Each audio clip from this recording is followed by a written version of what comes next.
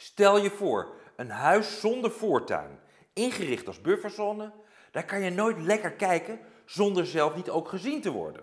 Een behoefte die teruggaat tot de tijd dat wij als oermens op zoek gingen naar de ideale woonplek. En ik laat in deze video zien dat jij in wezen niks anders dan een oermens bent, als het om je voortuin gaat.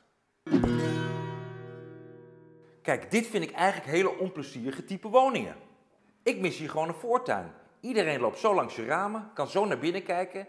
En tenzij je ramen afplakt of je gordijnen dicht doet, heb je geen privacy. Maar dan ben je ook je uitzicht kwijt. Maar voordat ik je ga vertellen waarom de oermens zich misschien hier ook niet plezier zou vinden, wil ik je vragen om op mijn kanaal te abonneren. Dat kan hier, zodat je regelmatig mijn tips ontvangt, zodat je van je huis een fijn thuis kan maken, zonder dat het meteen een hoop geld hoeft te kosten. Nu zegt dit helemaal niks over de kwaliteit van het huis zelf.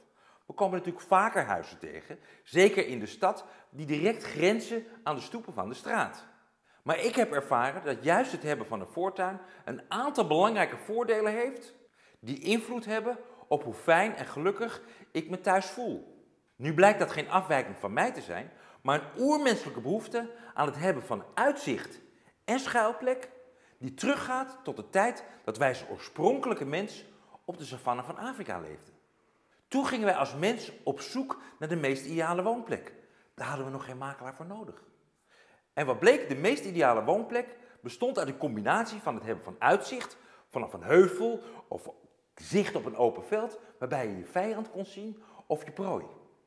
En een schuilplek bestaande uit een bosrand of hoog gras of een grot, waar je je veilig in terug kon trekken, samen met je vrouw en je kinderen. En tezamen vormden deze de elementen voor onze overlevering. Dat we op afstand konden zien dat het gevaar eraan kwam, of dat we ons prooi konden zien die voor ons voedsel kon dienen, en tegelijkertijd onszelf en ons kroost veilig houden. Dat noemen ze uitzicht en schuilplek, prospect en refuge.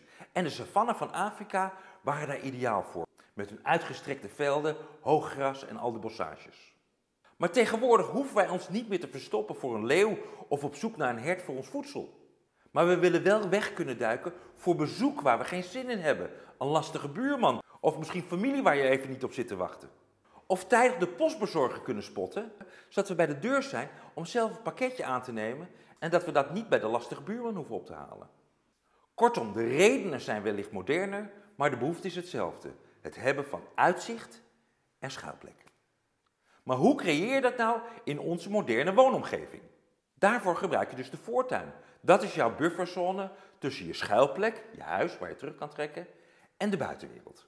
En om uitzicht te willen hebben, prospect, wil je natuurlijk een wijdse blik hebben. Overzicht over de straat hebben, zodat je kan wegduiken voor daar waar je geen zin in hebt, of als eerste bij de deur zijn om iets aan te nemen.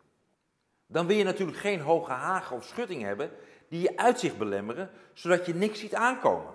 Dat er opeens iemand voor de deur staat of voor je raam naar binnen kijkt.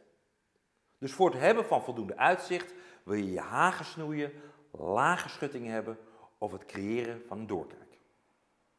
Heb je nou nauwelijks of geen voortuin en wil je niet de hele dag je gordijnen dicht hebben om geen inkijk te hebben, dan wordt je raam de bufferzone. En dan kan je twee dingen doen.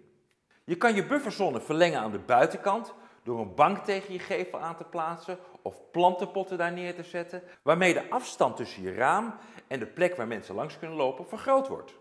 Of je kan je bufferzone vergroten aan de binnenkant van je huis, bijvoorbeeld door het plaatsen van grote planten op je vensterbank. Maar zorg dan dat die planten groot genoeg zijn om je achter te kunnen verstoppen, maar niet zo groot dat ze het licht weghouden of jou verhinderen om te kijken wat er buiten gebeurt. En op deze manier kan je je huis en je tuin inrichten dat het de oermens in jou thuis laat voelen. Simpelweg door het creëren van uitzicht en schuilplek, zodat je altijd kunt kijken zonder zelf gezien te worden. En zo sleutel jij aan je eigen woning.